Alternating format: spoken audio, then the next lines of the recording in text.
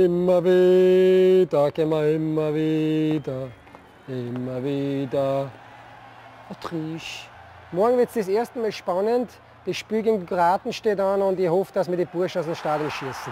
Die Kroaten werden jetzt zwar nicht sagen, dass sie uns unterschätzen und da glaube ich ist das, das, das Gute in dem Spiel. Also ich denke, dass die Kroaten definitiv meinen, wir, wir können den Ballen maximal aufpumpen. Also so ist es sicher nicht. Also wir werden garantiert äh, auch den Ballen anständig äh, weiterspielen können und deshalb, ob wie viel Prozent wir Chance haben, ist mir da gleich. Wichtig ist, was am Ende, am Ende das Endprodukt und wenn wir da den Dreier Vornste haben, also die Punkte und so, dann bin ich uns zufrieden.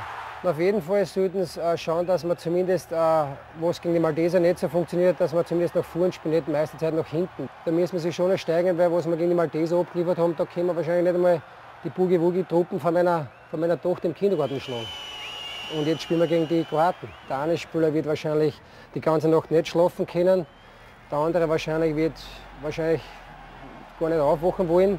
Zu meiner Zeit eigentlich war ich vor dem Spiel sehr, sehr entspannt, einen Tag vor dem Spiel. Also das Wichtigste war für mich nur, dass ich vor dem Einschlafen, vor meinem Zimmerpartner eingeschlafen bin, weil der dermaßen geschnarcht, dass ich dann eigentlich am nächsten Tag sicher keine gute Leistung abliefern habe können. Aber das ist mir eigentlich immer gut gelungen. Und in Andi Ivančić würde ich natürlich wünschen, dass er seinen Buben in Ilia am Sonntag, weil Fototag ist, dass er ihm ein Geschenk macht, indem er den Kroaten zwei Tore einlegt.